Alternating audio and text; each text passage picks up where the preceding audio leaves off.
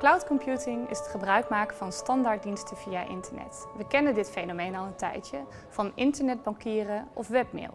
Maar nu ook voor het onderwijs zijn steeds meer clouddiensten beschikbaar. Denk hierbij aan bijvoorbeeld een elektronische leeromgeving, een leerlingvolgsysteem of administratieve pakketten. Bij cloud computing maak je via een internetverbinding gebruik van de software en opslagcapaciteit van een cloudleverancier.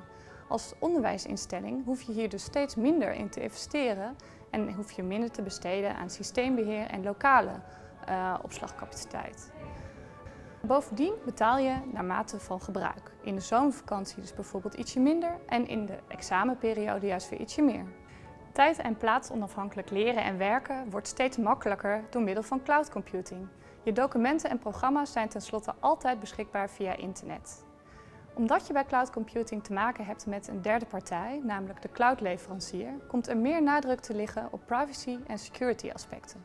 Zorg dat je weet aan welke wet en regelgeving je moet voldoen en welke uh, lokale veiligheidsmaatregelen je moet treffen bij cloud computing.